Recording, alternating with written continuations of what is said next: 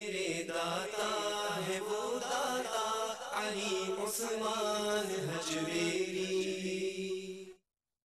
نحمده ونسلی ونسلم على سیدنا و مولانا محمد وعلى آلہ وصحبہ اجمعین۔ اما بعد۔ گنج بخش فیض عالم، مظہر نور خدا، ناقصاں را پیر کامل کامل آرا رحمہ۔ حضور سیدی و سندی و مرشدی و عقائی حضرت علی بن عثمان الحجویری، الغزنوی، الجلابی، جنہیں دنیا داتا گنج بخش، فیض عالم، داتا صاحب کے ان حسین ناموں اور القابات سے یاد کرتی ہے۔ آپ کی تعلیمات، آپ کے ارشادات پر مشتمل کتاب کشف الماجوب کے تشریحی پروگرام کے ساتھ، کشف الماجوب کے عنوان کے ساتھ ہی آپ کی خدمت میں آپ کا میزبان مفتی محمد رمضان سیل حاضر خدمت ہے۔ کشف الماجوب شریف کی مقبولیت کا اندازہ اس بات سے لگایا جا سکتا ہے کہ تقریباً ایک ہزار سال گزرنے کے باوجود جتنے صوفیاء اہل اللہ اس خطۂ بر صغیر میں گزرے ہیں، عمومی طور پر تمام صوفیاء اور اہل اللہ نے اپنے ملفوظات میں، اپنی تحریرات میں، اپنے کتب میں۔ حضور سیدی فیض عالم داتا گنج بخش رحمۃ اللہ علیہ کی کتاب کشف الماجوب سے اقتصاب فیض کیا ہے۔ اور تمام سالکین کے لیے، تمام عرفاء کے لیے، اور اس راہ سلوک کے تمام مسافرین کے لیے ایک مرشد کی حیثیت رکھنے والی کتاب کشف الماجوب شریف۔ میرے ساتھ اس کتاب کی تشریحی الفاظ اور خوبصورت انداز اور فکری گفتگو آپ تک پہنچانے کے لیے ہمیشہ تشریف فرما ہوتے ہیں میرے اور آپ کے جانے پہچانے حضرت علامہ محمد شہزاد مجددی صاحب السلام علیکم وعلیکم السلام۔ معزز ناظرین کتاب کشف الماجوب شریف کا گیارہواں باب ہے اور اس میں حضور فیض عالم داتا گنج بخش رحمۃ اللہ علیہ نے حضرات آئمہ تبا تابعین رضوان اللہ تعالیٰ علیہم اجمعین کا ذکر کیا ہے۔ اور گزشتہ پروگرام میں ہم ایک ایسی ہستی کا ذکر کر چکے ہیں کہ علم کی دنیا میں، حدیث کی دنیا میں، فقہ اور استدلالات کی دنیا میں، فقاہت کی دنیا میں جو امام الحدیث، امام الفقہ اور امام الفقہا کے لقب سے جانے جاتے ہیں میری مراد، حضرت امام ابو محمد احمد بن محمد بن حنبل رضی اللہ تعالیٰ عنہ، جنہیں عام طور پر امام احمد بن حنبل کے نام سے یاد کیا جاتا ہے۔ آپ کے ذکر پاک میں حضور فیض عالم داتا گنج بخش رحمۃ اللہ علیہ نے اپنے خاص اسلوب میں آپ کے القابات میں شیخ سنت اور قاہر اہل بدعت جیسے خصوصی امتیازات کا ذکر کیا ورا و تقوی کا ذکر کیا، آپ کی خصوصی شان حافظ الحدیث ہونے کا ذکر فرمایا اور آپ کے مشائق کے ذکر کے بعد آپ کے زمانہ مبارک میں جو آ، معتزلہ اور اس کے بعد پھر مجسمہ اور مشبہہ فرقے رونما ہوئے اور اپنے عقائد اور اپنے باطل نظریات کی وجہ سے جنہوں نے اسلام کی بنیادی تعلیمات کو اور قرآن و سنت کے بنیادی اصولوں کو مسخ کرنے کی کوشش کی حضرت امام احمد بن حنبل رحمۃ اللہ تعالیٰ علیہ نے کیسے استقامت کے ساتھ جرت کے ساتھ اس کا مقابلہ فرمایا اور کیسے ان کا رد فرمایا اور خاص طور پر قرآن مجید کے مخلوق ہونے کے حوالے سے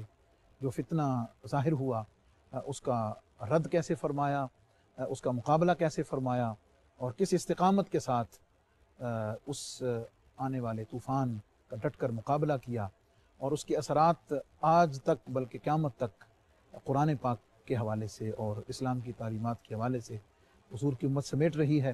میں چاہوں گا کہ اپنے معزز مہمان سے ہم سب سے پہلے اس بات کی تھوڑی تشریح اپنے اس موضوع کو اور گزشتہ پروگرام کے ساتھ اس کو لنک کرنے کے لیے یہ سوال میں گزارش کرتا ہوں کہ حضرت یہ فرمائیں کہ یہ جو معتزلہ اور مشبہہ اور مجسمہ کا ذکر ہے اور خاص طور پہ چونکہ فرقہ مشبہہ کی طرف آپ کو امام محمد بن حنبل کو منسوب کیا گیا اور آپ نے آپ کے ذکر پاک کو اختتام بھی اسی حوالے سے اس کی برات پر کیا ہے کہ آپ اسے بری ہیں۔ تو پہلے تو آپ اس کی تھوڑی وضاحت فرما دیں معزز ناظرین کے لیے کہ یہ اس کے بنیادی خد و خال کیا ہیں اور اس کے بعد پھر قرآن مجید کے جو مخلوق ہونے کا عقیدہ ہے وہ کیا ہے؟ اور اس کا رد بلیغ اور امام محمد بن حنبل کی اس بارے میں جو خدمات اور آپ کی استقامت اور کرامت جیسے ہم نے ذکر کی تھی۔ بسم اللہ الرحمن الرحیم الحمد للہ رب العالمین والصلاة والسلام علی اشرف الانبیاء والمرسلین وعلی آلہ وصحبہ اجمعین۔ مفتی صاحب حضرت سیدنا حسن بصری رضی اللہ تعالیٰ عنہ آپ جانتے ہیں کہ اجلہ تابعین میں سے ہیں۔ آئمہ تفسیر آئمہ فقہ آئمہ حدیث اور آئمہ تصوف چاروں ان کو اپنا امام مانتے جی۔ اور صحابہ کرام علیہم رضوان سے براہ راست آپ نے فیض لیا۔ سیدنا علی المرتضیٰ شیر خدا رضی اللہ عنہ سے آپ کی براہ راست نسبت روحانی ہے۔ اور امہات المومنین سے حضور صلی اللہ علیہ وسلم کے گھر سے آپ فیض یاب ہیں۔ تو آئمہ اہل سنت میں آپ سر فہرست ہیں۔ آپ کا جب حلقہ لگتا تھا تو بہت بڑا حلقہ ہوتا تھا۔ ایک شخص آپ کے حلقے میں بیٹھتا تھا جس کا نام آس بن وائل تھا۔ جی۔ ایک دن آپ گفتگو فرما رہے تھے تو اس نے سوال کیا اور اس سوال کے جواب میں حضرت حسن بصری رحمۃ اللہ تعالی علیہ آپ نے جو وضاحت فرمائی جی۔ اس نے اس سے اختلاف کیا۔ جی۔ اور کہا کہ میں اس توجیح کو اور آپ کی اس تفسیر کو نہیں مانتا صفات باری تعالیٰ پہ بات ہو رہی تھی۔ جی۔ اللہ رب العزت کی صفات کے بارے میں ہمیں کیا عقیدہ رکھنا چاہیے؟ تو جب اس نے اختلافی نوٹ دیا اور وہاں سے واک آؤٹ کر گیا احتجاجن کہ میں آج سے آپ کا حلقہ چھوڑ رہا ہوں آپ کے شاگردوں میں تھے۔ اس وقت آپ نے ایک جملہ فرمایا اے اتازالہ آس بن وائل۔ آس بن وائل جو ہے اس نے ہمیں چھوڑ دیا۔ اعتزال وہاں سے بنا۔ جی۔ معتزلہ۔ اس کی نسبت سے کہلایا آس بن وائل کے فالوورز جو تھے۔ ٹھیک صفات باری تعالیٰ میں کے بارے میں انہوں نے امت سے جمہور سے اور آئمہ اہل سنت و جماعت سے الگ ایک نئی فکر ایک نیا تھاٹ اور ایک نیا عقیدہ اور نظریہ وہ متعارف کروایا۔ کہ اللہ تبارک و تعالیٰ کی جو صفات ہیں بندہ جو ہے بعینی ہی انسان بھی ان صفات کا اسی طرح مظہر ہے فزیکلی یعنی اللہ کے اگر آپ کہیں بیادی ہل خیر جی۔ تو انہوں نے کہا کہ جو انسان ہے جس طرح اس کا ہاتھ ہے اس طرح اللہ کا بھی ہاتھ ہے۔ مجسمہ کہنا تو انہوں نے مشبہہ اور مجسمہ دو کی بنیاد رکھ دی ایک طرح اعتزال والوں نے۔ ٹھیک۔ بعد میں مشبہہ اور مجسمہ اسی بنیاد پہ آگے بڑھے اور اس کی برانچز بنی معتزلہ معتزلہ نے اس کی بنیاد فراہم کی۔ ٹھیک۔ جیسے ہمارے دونوں کی بر بنیاد- صغیر پاک و ہند میں ایک بات کہی گئی جی۔ کہ اگر بالفرض بعد زمانہ نبوی کوئی نبی آ جائے تو خاتمیت محمدیہ علیہ صاحب صاحب اسلام میں کوئی فرق نہیں پڑتا۔ جی۔ جب یہ مفروضہ دیا گیا تو اس کے نتیجے میں ایک شک کھڑا ہو گیا۔ اس نے کہا جب خاتمیت میں فرق ہی نہیں پڑتا تو پھر ہاں، میں نبی ہوں۔ ٹھیک ہے۔ اس طرح سے یہ ایک بن- بنیاد فراہم کی گئی۔ اور یہ وہ تابعین کا زمانہ ہے۔ اس وقت آپ نے جو حوالہ دیا یعنی جھوٹے نبی کے دعوے کو بنیاد ملی اس جواز ملا نا اس جواز ملا اس؟ سے اس نے کہا توجیح پیدا کر لی اسی طرح معتزلہ جو ہے ایک بہت بڑا سکول آف تھاٹ بن کے سامنے آیا کیوں۔ یہ خطیب بلا کے تھے۔ اور بلاغت فصاحت میں بہت آگے یہ لوگ تھے۔ اپروچ بڑی ماڈرن اور بڑی جدید تھی جدید زبان میں بات کرتے تھے لاجک اور عقل کو بڑی ترجیح دیتے تھے۔ یہ سمجھ لیجیے کہ عقلیات کے حوالے سے یہ لوگ پائنیئرز معقولات کے بڑے ماہر تھے اور دلائل دیتے تھے عقل کی بنیاد پر۔ اور انہی یہی وہ فرقہ ہے جس نے اس امت میں پہلی بار یہ بنیاد رکھی ہے کہ عقل کو وہی سے ٹکرایا جائے۔ لاجک اب دیکھیے عام انسان کی رسائی تو اپنی عقل کی حد تک ہوتی ہے وہی کے تو وہ مدارس۔ کو سمجھ نہیں سکتا۔ ظاہر ہے۔ تو چونکہ ایزی اپروچ ہے۔ لاجک اس لیے وہ اس طرف جلدی مائل ہو جاتا ہے۔ اس کو اپیل رک کر ایک چھوٹی سی بات کہ اس فتنہ اعتزال کے اثرات وقت گزرنے کے ساتھ ختم ہو گئے یا آج تک آج جاری بھی۔ آج تک جاری۔ آج تک۔ کیونکہ یہ بتایا گیا تھا کہ یہ جو فتنے اور فرقے اٹھیں گے ان کے اثرات دور تک جائیں گے اچھا پھر جب ان کو حکومتی سرپرستی ملتی ہے ایسے۔ اسکول آف تھاٹس کو آج بھی آج بھی تو اس کے نتیجے میں وہ پھیلتے ہیں۔ اب یہ مثال جو حضور داتا صاحب رحمۃ اللہ تعالی علیہ نے دی ہے یہ کشف المحجوب کا ایک ایسا انفرادی کریڈٹ ہے۔ جو کشف المحجوب کو باقی تمام تصوف کی کتابوں سے ممتاز کرتا۔ کہ صاحب کشف المحجوب نے اپنے دور سے اپنے پیچھے تک کے تمام ادوار کے جو اعتقادی اور نظریاتی مسائل و فتنے ہیں ان کو جزوی صحیح لیکن ایڈریس کر دیا ٹچ کر دیا۔ کہ میرا جو متعلق ہے میرا جو وابستہ ہے میرا جو عقیدت مند ہے مرید اور سالک ہے وہ سمجھ لے کہ میرے مرشد کی نظر ان ان فتنوں پہ ہے۔ اور میرا راہبر جو فیض عالم ہے تو وہ فیض عالم ایسے ہی نہیں ہے عالم کے ہر ہر دائرے اور ہر ہر مسئلے پہ اس کی نظر ہے۔ اگرچہ کتاب میں ہمیشہ آپ نے اختصار کا لحاظ رکھا اور فرمایا کہ میں اختصار کی وجہ سے اسے ختم ہاں، کر رہا ہوں۔ جگہ جگہ آپ لیکن اس اختصار میں بھی اور اسی اختصار میں جامعیت کو بہت ملحوظ رکھا ہے اور اس فتنے کو پوائنٹ آؤٹ کر دیا۔ اب معتزلہ فرقہ جو ہے یہ بالکل پروموٹ ہوا ہے مامون الرشید کے زمانے میں۔ ٹھیک۔ اور یہ ایک صدی لگی ہے اس میں۔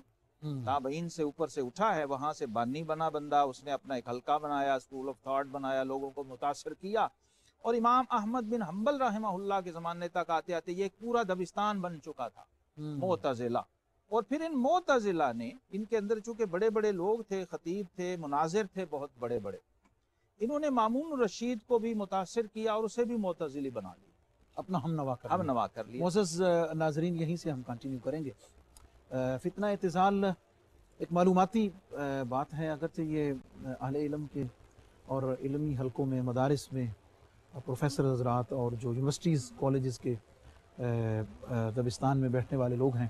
بنیادی طور پر یہ ٹرم خاص طور پہ وہاں استعمال کی جاتی ہے، لیکن اس کو ڈسکس کرنے کا ایک بنیادی مقصد، جیسے حضرت نے آپ کے سامنے رکھا ہے کہ عقل کو وہی کے پیرلل لانا اور اس سے متصادم کرنا اور ایک ایسے راستے کو کھولنا کہ جس میں عقل کو ترجیح دیتے ہوئے اس کی توجیحات اور تشریحات اپنی مرضی کے مطابق کی جائیں۔ اور جیسے فرمایا گیا کہ آج بھی اس کے اثرات ہم اپنے دائیں بائیں۔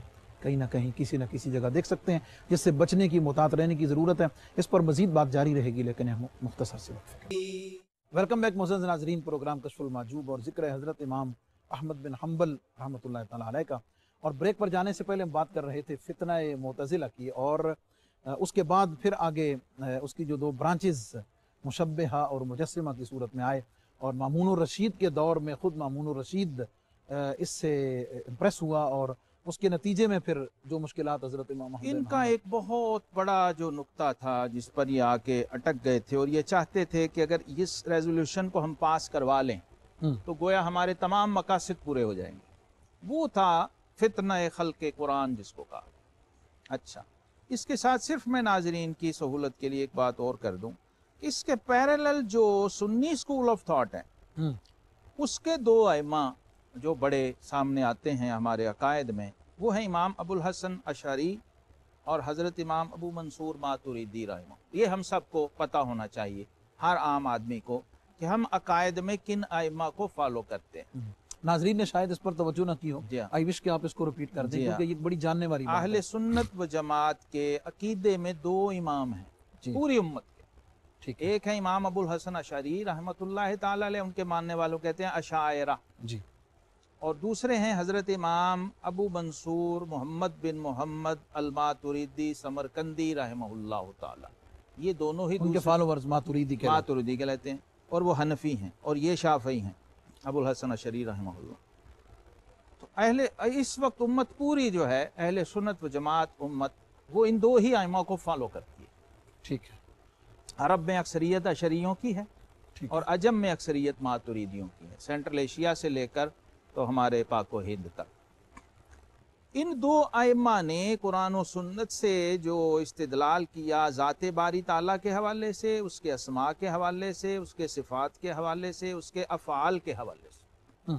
اہل سنت اس کو فالو کرتے کیونکہ وہ صحابہ کا اور جمہور کا تابعین و تبا تابعین کا طریقہ۔ اس کے پیرلل یہ جتنے بھی فرقے ہیں جیسے حدیث میں فرمایا گیا کہ تہتر فرقے ہو جائیں گے اور کلہم فی النار الا واحدہ۔ تو یہاں ہمیں فرقوں کے حوالے سے بھی ایک تفہیم دی ہے۔ حضور داتا صاحب رحمۃ اللہ تعالی علیہ نے کہ۔ فرقہ ہمیشہ عقیدے کی بنیاد پہ ہوتا ہے عمل کی بنیاد پہ نہیں۔ بڑی خوبصورت بات۔ تو ہو سکتا ہے میرا اور ایک حنبلی کا میں حنفی ہوں ہم دونوں سنی ہوں۔ تو ہو سکتا ہے کہ رفع دین میں اختلاف ہو جائے آمین عمل میں اور بالجہر میں۔ تو یہ عملی فروعی چیز ہے۔ ایک عقیدہ اصول ہے اور یہ جو اعمال ہیں یہ فروع ہیں۔ فروع کا اختلاف فرقہ بندی کی جو اصل۔ فرقہ کی بنیاد ہمیشہ اعتقادی ہوتی ہے اور نظریاتی ہوتی ہے۔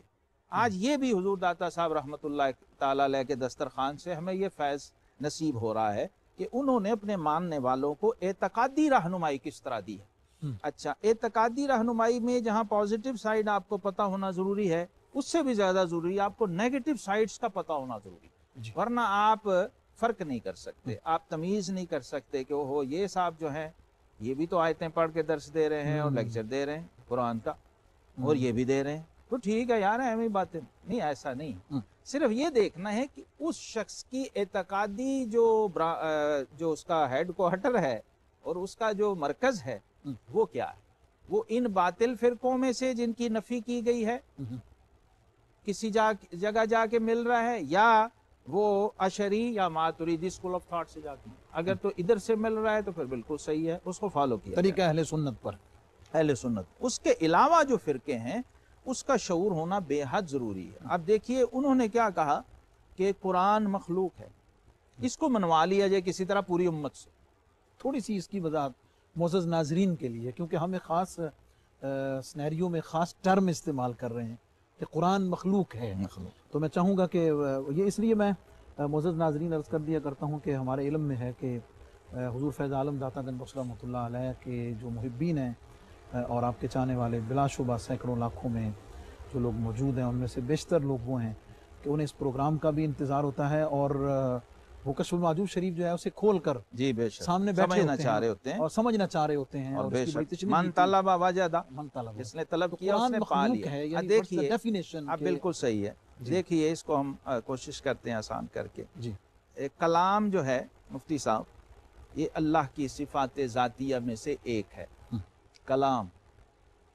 جیسے ہم کہتے ہیں اللہ سمیع ہے اللہ بصیر ہے اللہ علیم ہے۔ اللہ قدیر ہے۔ یہ قدرت جو ہے علم حیات اس کا حی و قیوم ہونا اس کا ارادہ ہونا اس کا سمیع اور بصیر ہونا اسی طرح اس کا کلام فرمانا یہ اس کی صفات سمانیہ ثبوتیہ ذاتیہ میں سے ایک جو آٹھ صفات ہیں۔ جو ہم کہتے ہیں آمن تو بلّہ کما ہوا بے اسمائے ہی و صفات ہی میں ایمان لاتا ہوں صفات جیسا کہ اس کے اسماء اور اس کے صفات ہیں۔ ٹھیک ہے۔ ان میں سے ایک صفت کلام ہے۔ اور رب کائنات نے قرآن پاک جو ہے اس کو اپنا کلام فرمایا اور اپنے کلام کو بذیریہ وحی جبریل امین کے ذریعے نبی کریم علیہ السلاۃ والسلام کی ذات اقدس پر اور آپ کے قلب متحر پر نازل فرمایا۔ فَإِنَّهُ نَزَّلَهُ عَلَىٰ قَلْبِكَ اور پھر فرمایا انا سنل کی علیہ کا قولاً ثقیلا یہ ایسا حیبت والا کلام ہے اور نزل به الروح الامین علی قلبک۔ اللہ قلب کا روح الامین نے اس کو آپ کے قلب اقدس پہ نازل کیا۔ اب اس کلام کے بارے میں قرآن یہ کہہ رہا ہے کہ لو انزلنا هذا القرآن على جبل لرأيته خاشعا متصدعا من خشیت اس کی جلالت و حیبت یہ ہے اس کلام کی، کیونکہ کلام اللہ کا ہے اور اللہ کا کلام اس کی صفت ہے۔ اچھا۔ صفت کے بارے میں ہمارا اہل سنت جماعت کا عقیدہ یہ ہے کہ جو اللہ کی صفات ہیں وہ ذات کا غیر نہیں ہے۔ جو معتزلہ ہیں انہوں نے یہ کہا کہ صفت جو ہے وہ ذات کا غیر ہے۔ بنیادی اختلاف یہاں سے۔ صفت غیر ہے اس لیے یہ مخلوق ہے۔ جبکہ حقیقت کیا ہے جس پر پوری امت کھڑی ہے وہ یہ ہے کہ صفات ذات کا غیر ہو ہی نہیں سکتی۔ جی۔ مفتی رمضان سیالوی صاحب اگر بیٹھے یہاں پر بول رہے ہیں، کلام کر رہے ہیں، زبان سے بول رہے ہیں، گفتگو کر رہے ہیں، تو ان کی ذات جو ہے وہ رمضان ہے اور جو ان کی زبان سے نکل رہا ہے وہ کلام ان کی صفت ہے۔ جی۔ یہ تو نہیں ہو سکتا کہ مفتی صاحب امریکہ میں بیٹھے ہوں اور کلام بیٹھ کے لاہور میں، بحریہ ٹاؤن میں کر رہے ہوں۔ یہ ایسا نہیں ہو سکتا۔ ذات اور صفت ہمیشہ متصل رہتے ہیں۔ جی۔ ایک دوسرے کے ساتھ وابستہ رہتے ہیں۔ اور یہ کلام ان کے وجود کا حصہ ہے یہ انہوں نے کہیں اور سے نہیں لیا۔ قائم وہ جو بول رہے ہیں قائم بذات ہی۔ تو ذات باری تعالیٰ کی صفات بھی قائم بذات ہی ہیں۔ اور وہ اللہ تبارک و تعالیٰ ان کو کریٹ نہیں کرتا ہے جیسے باقی مخلوق کو پیدا کیا ہے۔ زمین و آسمان کو پیدا کیا ہے یا جنت اور دوزخ کو پیدا کیا ہے یا نور کو پیدا کیا وہ صفات اللہ کی پیدا کردہ مخلوق نہیں ہیں، بلکہ اس کی ذات کا، اس کے وجود کا حصہ اور جز ہیں۔ یہاں آ کے جمہور اہل سنت و جماعت تو اس پہ ثابت و مستقیم رہے۔ یہ جو لاجیکل لوگ تھے، منطقی لوگ تھے اور اقلیات پر جنہوں نے بنیاد رکھی تھی، انہوں نے خود پہ قیاس کر لیا۔ اس لئی سک مسلی ہی شہی کی روح کو اور شان تنظیحی کو نہ سمجھ سکے اور ٹھوکر کھا گئے۔ اور پھر یہ سمجھ لیا کہ ذات باری تعالیٰ کی جب یہ صفات مخلوق ہیں، تو اس کا مطلب یہ ہے کہ جس طرح ہم ہم لوگ ہیں، ہمارا ایک وجود ہے، ہمارے ہاتھ ہیں، آنکھ ہیں، کانے، کان ہیں، ہم اسے سنتے ہیں، آنکھوں سے دیکھتے ہیں۔ اسی طرح اعضاء کا تصور اور کانسیپٹ وجود میں آیا۔ اور اس کے لیے انہوں نے آیات متشابہات کو پکڑ لیا۔ ثم استوا الرحمن علی العرش استوا کو پکڑ لیا۔ ثم استوا علی العرش کو پکڑ لیا۔ اسی طرح کی اور آیات کو اور اس سے یہ قیاس و استدلال کیا کہ اللہ تبارک و تعالیٰ کی ذات میں جو حرکت ہے وہ اسی طرح ہے جیسے ہم میں ہے۔ اس میں عروج و نزول اسی طرح ہے جیسے ہم لوگوں میں مخلوق میں پایا جاتا ہے۔ اسی طرح اس کا گرفت فرمانا اور اس کا دیکھنا اور اس کا سننا اور اس کا پکڑنا کلام کرنا یہ سب چیزیں انہوں نے اس پہ قیاس کر لیں۔ جس کے نتیجے میں یہ ایک پورا نظام وجود میں آ گیا۔ اس کا اطلاق جب انہوں نے قرآن پہ کر کے دیکھا کیونکہ اللہ کی صفات میں ہمارے پاس فزیکل شیپ میں جو ایک چیز موجود ہے وہ قرآن مجید وہ قرآن مجید ہے۔ اچھا اب مزید اس کو اور کھول لیتے ہیں فتنہ خلق قرآن کے حوالے سے کہ اب ہمیں ایک بات سمجھ آ گئی کہ قرآن اللہ کا کلام ہے۔ جی۔ اور کلام اللہ کی صفت۔ جی۔ جب یہ سمجھ آ گئی ناظرین کو اور سامعین کو تو سمجھیے کہ مسئلہ حل ہو گیا۔ اور صفت جو ہوتی ہے وہ مخلوق نہیں ہوتی، وہ غیر مخلوق ہوتی۔ اب اس میں قرآن پاک سے ہم نے یہ سمجھنا ہے کہ ان قرآن پاک جو ہے قد جاکم برہان من ربکم بنزلنا الیکم نورم مبینہ قرآن اپنی اصل میں نور ہے، کیونکہ ذات باری تعالیٰ نور ہے۔ اس کی ذات نور ہے، اس کی صفات بھی نور ہیں۔ تو کلام الہی، قرآن پاک، اللہ کی صفت ہوا اور صفت نور ہوئی۔ اب قرآن پاک کو جو ہم نے دیکھا تو ہمیں نظر آیا کہ ایک گتا ہے ایک جلد ہے ایک کاغذ ہے ایک سیاہی ہے الفاظ یہ پرنٹڈ ہے اور چھپا ہوا ہے پھر الفاظ بھی ہیں۔ حصی طور پہ محسوس بھی محسوس بھی ہو رہے ہیں آپ چھو بھی سکتے ہیں دیکھ بھی وہ سیدھا بھی ہوتے ہیں۔ سیدھا بھی ہوتے جی۔ ہیں اب یہ ساری مخلوق ہیں۔ گتا بھی مخلوق کاغذ بھی مخلوق سیاہی بھی مخلوق جو نظر آ رہا ہے۔ وہ الفاظ و حروف وہ بھی۔ لیکن جو کلام نفسی ہے وہ غیر مخلوق ہے جو پڑھا جاتا ہے۔ جو پڑھا جاتا ہے۔ جو اللہ تبارک و تعالیٰ نے کلام فرمایا ہے۔ کلام نفسی سے مراد یہ ہے ذات باری تعالیٰ کا کلام فرمانا۔ وہ غیر مخلوق ہے اور صفت الہی۔ یعنی قرآن اپنی اصل میں صفات باری تعالیٰ کا ایک مظہر ہے اور اللہ کے کلام کی فزیکل شکل ہے ہمارے پاس جو وہی الہی کی شکل میں رسول اللہ صلی اللہ علیہ وسلم پر نازل ہوا۔ اور آقا کریم علیہ السلام کی زمان اقدس سے نکلنے کے بعد لفظوں کی شکل میں آیا کتابت کی شکل میں آیا۔ تو کیا ہم اگر معتزلہ سے سوال کریں کہ جی۔ اللہ نے جو جبریل کو وحی دی تھی جی۔ وہ مخلوق تھی؟ اور وہ جو جبریل نے حضور علیہ السلام پہ نازل کیا تھا وہ مخلوق تھا؟ جسے نہ کسی نے دیکھا نہ پکڑا نہ چھوا نہ سنا نہ تلاوت کی۔ جی۔ تو اگر آپ قیاس کرتے ہیں لاجیکلی اور عقلی طور پر بھی تو یہ قیاس بالکل ہنڈریڈ پرسنٹ غلط ہو جاتا ہے۔ کیونکہ اس کے مخلوق ہونے میں تو کوئی اختلاف ہی نہیں ہے کہ یہ گتا جلد یہ ظاہری جو نظر ہیں آتا ہے۔ سامان ہے ٹولز ہیں۔ جی۔ یہ تو پہلے سے طے ہے کہ یہ مخلوق ہیں۔ یہ نہ بھی قرآن کے ساتھ لگے ہوں یہ کشف المحجوب کے ساتھ لگے ہوں تو بھی مخلوق جی ہیں۔ جی۔ ٹھیک ہے نا؟ اصل بات ہو رہی ہے قرآن پاک کے بحیثیت کلام الہی ہونے کی۔ جی۔ انہوں نے یہ چاہا کہ اس کو کسی طرح ہم مخلوق ثابت کریں۔ اور اس کے بعد مخلوق ہم بھی ہیں مخلوق یہ بھی ہے۔ اور اس کے ساتھ وہی سلوک کریں جو مخلوق مخلوق کے ساتھ کرتی ہے اور اپنی مرضی سے جو مطالب و معنی مفاہیم چاہیں نکال۔ معزز ناظرین بڑی معلوماتی اور دلچسپ انفارمیٹیو گفتگو تھی اور جان بوجھ کر میں نے اس یہاں پہ رک کر اس پورے سیگمنٹ میں اس کو ڈیٹیل کے ساتھ حضرت سے ڈیلیور کروایا معزز ناظرین کے لیے۔ اس لیے کہ بڑی بنیادی چیز ہے جس کا تعلق قرآن مجید، فرقان حمید کے ساتھ ہے اور آئی ایم شور کہ عام لوگ، عام ناظرین، ہمارے سامعین کسی حد تک اس کے اس ٹرم سے تو واقف ہوں گے کہ قرآن مخلوق نہیں ہے، غیر مخلوق ہے، لیکن اس کا مطلب کیا ہے، اس کی تشریح کیا ہے؟ ہوپ کہ انشاءاللہ العزیز آپ کے لیے بڑی معلوماتی ہوگی۔ اور چونکہ یہ ایک بنیادی عقیدہ ہے، جس کے اوپر قرآن مجید، فرقان حمید کی تمام آیات اور احکامات اور دین اسلام کی تمام تشریحات اور سب کچھ اس میں موجود ہے۔ جیسا کہ آپ نے سنا کہ دونوں چیزوں میں جو فرق ہے کہ جو کلام نفسی ہے، جو اللہ رب العزت نے کلام فرمایا، وہ غیر مخلوق ہے۔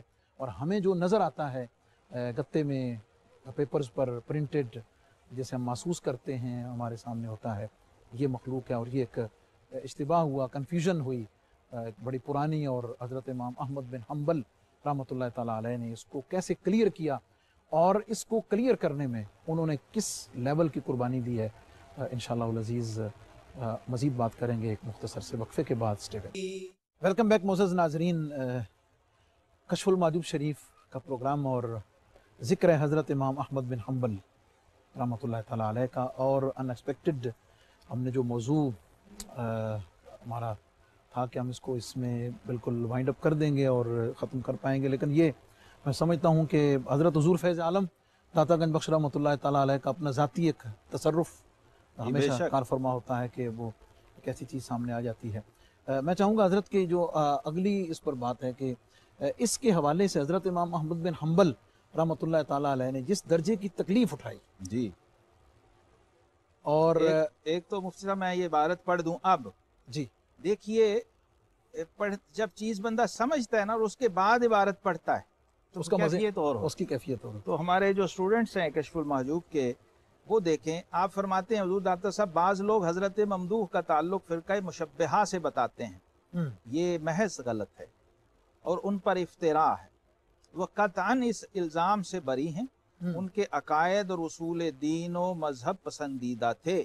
اور تمام علماء اس پر متفق ہیں۔ جب آپ بغداد شریف تشریف لائے فرقہ معتزلہ نے آپ پر غلبہ کیا اور یہ تجویز کی کہ آپ کو تکلیف دے کر مجبور کیا جائے تاکہ آپ قرآن کریم کو مخلوق فرما دیں۔ اب وہ چاہتے کیا تھے کہ ایک اتھارٹی اتنی بڑی شخصیت ہمارے ساتھ موافق ہو جائے معید ہو جائے ہماری۔ اس کے بغیر انہیں پتا تھا بات دال گلنی نہیں اور بات جی۔ بننی نہیں کیونکہ پبلکلی ہمیں وہ جو شہرہ ہے اور جو مقبولیت ہے وہ نہیں ملے گی۔ کیونکہ لوگ امام صاحب کو دیکھتے ہیں۔ امام اہل سننا کا ٹائٹل آپ کے ساتھ پہلی بار لگا۔ تو امام صاحب رحمت اللہ تعالیٰ علیہ مفتی صاحب اب ایک جملہ میں کہہ لوں۔ حضور داتا صاحب کا دامن تھام کے اگر مقام صدیقیت پر فائز نہ ہوتے اور باطن صوفی نہ ہوتے تو یقین کریں یہ کسی فقیح کے بس کی بات نہیں تھی۔ نہ اتنا تشدد برداشت کرنا نہ اتنے بڑے مہینے ہزار مہینے کوڑے کھانے ایک ہزار کوڑا۔ اور پھر اس طرح کوڑے کھائے ہیں کہ وہ فرماتے ہیں کہ میرے ہاتھ کمزور ہو چکے جب اس جلاد نے کہا نا یہ لکڑی کو آپ پکڑ لیں تو میرا اس پہ ہاتھ نہیں پڑا تو گر گئے۔ تو پھر انہوں نے پکڑ کے مجھے دوبارہ کھڑا کیا۔ تو آپ فرماتے ہیں کل زندگی وفات تک میرے ہاتھوں میں وہ تکلیف باقی رہی۔ اللہ۔ اور اس کے بعد دو دو سال چار مہینے مسلسل زندان میں رہنا پابا سلاسل رہنا گلیوں بازاروں میں پھرایا جانا پبلکلی اور پھر دن کے وقت وہ کوڑے مارنے کے بعد رات کو جسم سے تلواروں کی نوکوں کے ساتھ گوشت کو چھیدنا اور یہ پیغمبرانہ وہ یاد آتے جی ہاں۔ ہیں۔ حضرت زکریہ علیہ السلام یاد آتے ہیں۔ حضرت علیہ السلام۔ اور ایوب علیہ السلام یاد آتے ہیں کہ یہ اس امت میں اس پائے کے امام آئمہ اربا میں سے ایک۔ اور انہوں نے اللہ رب العزت کی ایک صفت کے تحفظ میں سبحان اللہ۔ اپنا کل علم اپنا کل شعور اپنا اپنی ساری معرفت عقیدہ نظریہ اپنی عزت و مرتبہ اور سٹیٹس اور مجتہد مطلق ہونا اور بخاری و مسلم کے استادوں میں سے شامل ہونا سب کو آپ نے پس پش ڈال دیا۔ اور اللہ کی محبت میں اتنے فنا ہو گئے تھے کہ یوں لگتا ہے کہ ذات باری تعالیٰ کی توجہ بھی اس وقت صرف امام احمد بن حنبل پہ تھی۔ کہ کوڑے مارتے ہوئے اگر ان کا سطر بھی خطرے میں پڑا ہے تو رب کائنات نے خود پھر اس کا بھی تحفظ فرمایا اور اس عزت کو بحال رکھا ان کے فیض۔ امام علی مقام امام حسین۔ امام حسین رضی اللہ تعالی عنہ کا فیض نظر آتا ہے کربلا والا وہ استقامت نظر آتی ہے جو امام صاحب رحمۃ اللہ علیہ نے اس کا مظاہرہ کیا۔ اور جس طرح کربلا کا فیض پھر متعدی ہے اور آج تک جاری ہے۔ جی۔ یہ حنبلی فیض بھی آج تک جاری ہے کہ پھر اس نے غوث اعظم جیسی ہستیاں پیدا کی ہیں۔ بے شک۔ اس دبستان نے۔ اور وہ بھی ان کا بھی تسلب اور ان کی بھی استقامت شریعت و سنت میں ضرب المسل ہے۔ امام احمد بن حنبل رحمۃ اللہ تعالی علیہ آپ نے جو سٹینڈ لیا ہے اب اس کے اثرات دیکھیے۔ علامہ ابن جوزی نے اس پہ پوری کتاب لکھ دی ہے۔ جی۔ جو داتا صاحب نے فرمایا نا کہ ان کا تعلق مشبہہ سے نہیں تھا جی۔ لوگ غلط طور پہ ان کو منسوب کرتے ہیں۔ بعض کتابیں ایسی لکھی گئی ہیں اور عرب میں آج بھی سعودی عرب میں پڑھی پڑھائی جاتی ہیں جس سے یہ تاثر ملتا ہے تاثر کہ- ملتا ہے کہ یہ مشبہہ میں سے تھے۔ تو پرانے بزرگوں میں علامہ ابن جوزی رحمہ اللہ چونکہ حنبلی ہیں انہوں نے اس کا دفاع کیا ہے اور پوری اس پہ کتاب لکھی ہے کہ آپ کا تعلق فرقہ مشبہہ سے نہیں ہے۔ نہ ہی آپ نے ان کو سپورٹ کیا بلکہ آپ نے ان کا رد کیا ہے قدم قدم پر۔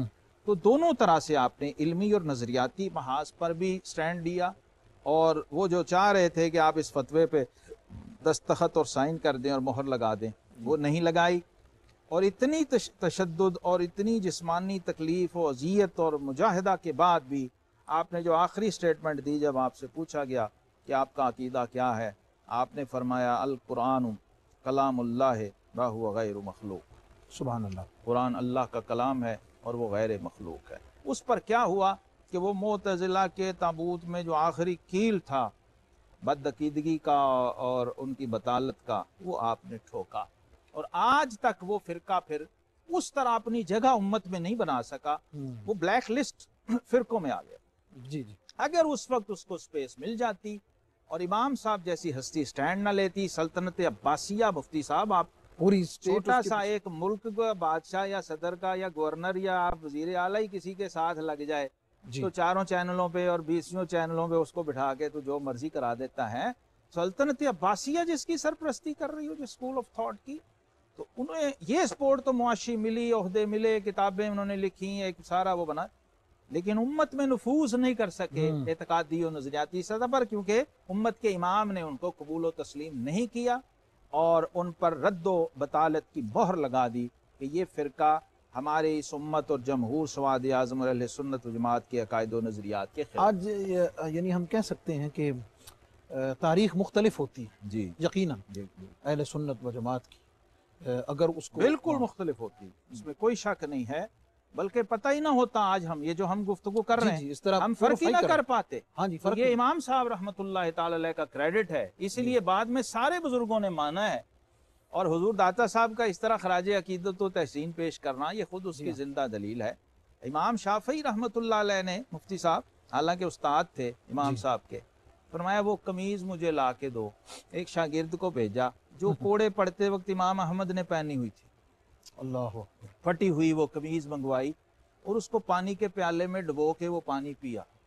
امام شافی رحمۃ امام شافی نے فرمایا یہ تبرک ہو گیا ہے اور احمد بن حنبل اب اس امت میں اس مقام پہ چلا گیا ہے کہ اس کے مرتبے کا کوئی اندازہ نہیں کر سکتا۔ وہ حضرت یعقوب علیہ السلام اور یوسف علیہ السلام وہ جو قمیض والا قرآن میں جی ذکر ہے جی جی جی۔ اسی طرح سے انہوں نے فرمایا کہ یہ قمیض بھی اب تبرک ہوگی آپ سوچئے جس کی پھٹی ہوئی قمیض تبرک ہو جائے وہ ہاں۔ وجود سبحان اللہ۔ امام شافعی جیسی ہستی کی نظر میں کیا ہوگا؟ ایک اس کو کنٹینیو کرنے کے لیے جو اس کے ساتھ بڑا ریلیونٹ ہے کہ آپ اس مشقت سے جو آزاد ہوئے تو ایک کرامت کا ظہور ہوا۔ جی۔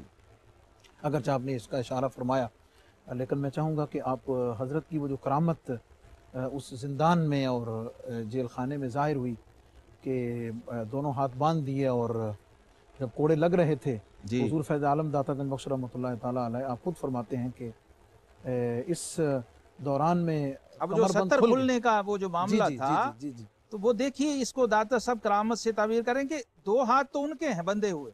ایک تیسرا ہاتھ غیب سے نمودار ہوا ہے۔ اللہ اکبر۔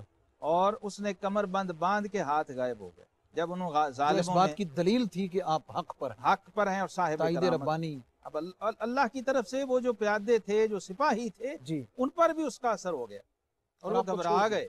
جی۔ کا معاملہ ہی ایسا تھا۔ عقل اب یہاں تو عقل یار ہے سو بیس بدل لیتی۔ یہ کیفیت تھی۔ اس لیے علامہ نے کہا عقل کو تنقید سے فرصت نہیں۔ عشق پر اعمال کی بنیاد رکھ۔ تو یہ عشق تھا تیسرے ہاتھ کا نمودار ہونا۔ سبحان اور پھر اس نے ایسے اثرات دکھائے کہ وہی لوگ جو پہلے باندھ رہے تھے سپاہی اور پیادے بنے ہوئے تھے اور حکومت کے حواری وہ بھی گھبرا گئے۔ اور پھر انہوں نے آخر آپ کو چھوڑا۔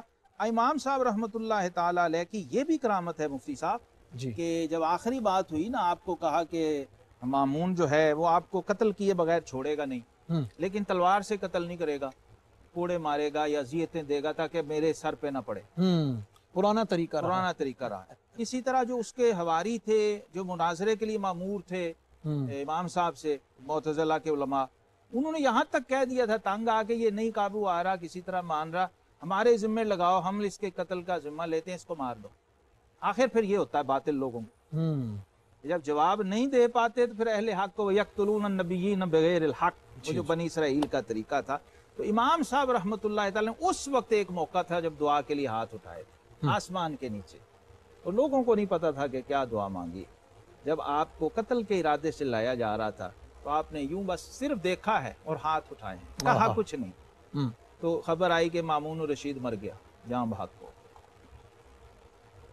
اٹھائیس مہینے بعد پھر مامون رشید کی موت کے بعد آپ کی جان چھوٹی تھی۔ اور۔ اسی تکلیف و اذیت میں آپ بھی واصل بحق ہوئے تھے۔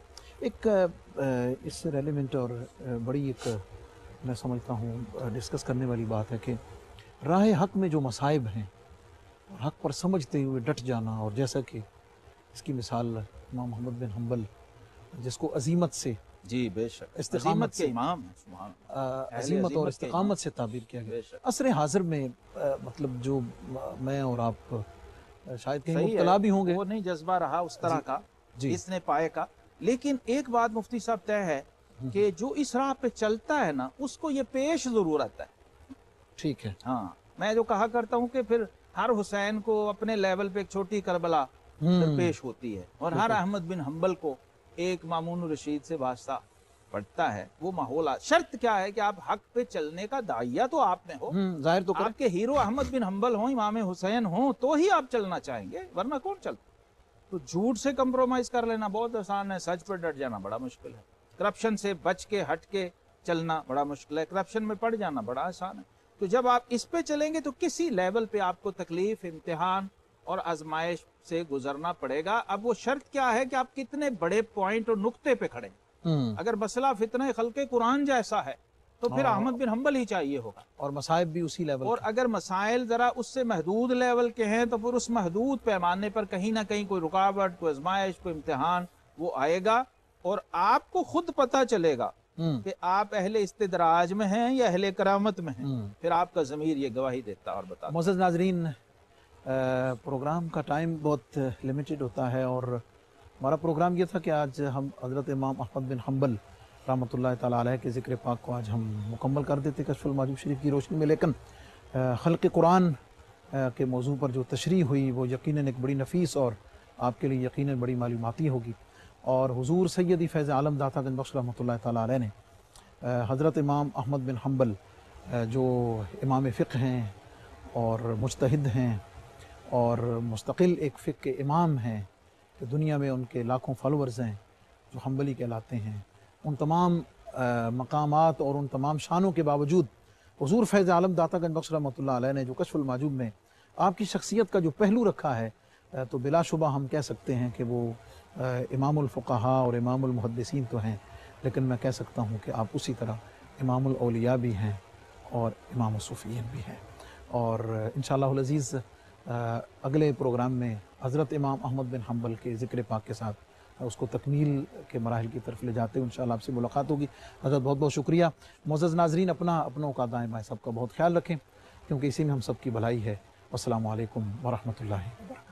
گنج بخش فیض عالم مظہر نور خدا پیر کامل